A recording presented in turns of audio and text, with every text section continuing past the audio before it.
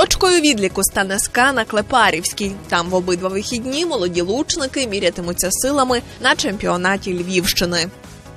У неділю автоекстремали позмагаються на першому етапі національної серії Кубок Карпат. Ралі зимові вершини візьмуть початок від села Урич. Того ж дня в Брюховичах всі охочі діти зможуть спробувати свої сили у лижних перегонах. Один та два кілометри долатимуть у парку імені Богдана Хмельницького.